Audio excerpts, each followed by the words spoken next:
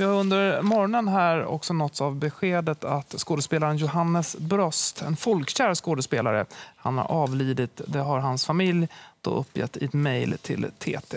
Han mm. Eh, vann ju Guldbagge också bara för några år sedan. Mm. Och vi har med oss eh, Görel Krona.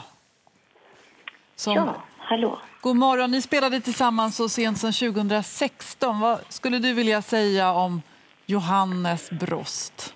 Ja, jag skulle vilja säga att vi fick eh, tre underbara år tillsammans eh, i ett eh, väldigt fint samarbete. Ehm, vi, vi, har ju gjort, vi gjorde två, två uppsättningar tillsammans, Dödsdansen eh, som ju känns väldigt aktuellt idag om kaptenen som inte vill dö.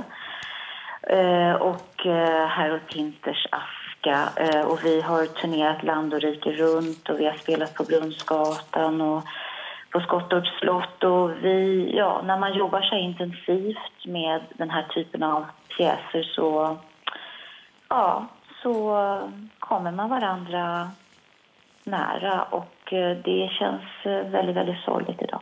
Mm. Hur kommer du att minnas Johannes? Ja, ja, det är så mycket. Eh, det, det, är svårt att sammanfatta det så här när man precis har fått mm. ett dödsbud. Eh, eh, jag kommer att minnas honom som en person som alltid letade efter skrattet. Även i de mörkaste och sorgligaste situationer. För vi sågs ju i höstas, eh, i november var jag och hälsade på honom nere på Skottorp och eh, då, då, var han ändå väldigt ljus och sa att jag ska klara det här. Och eh, han, han, ehm, han var en positiv människa. Mm. Mm. Ja, och vi ser honom också här i bild i tv när han har huvudrollen i Avalon som han också fick en, en Guldbagge för.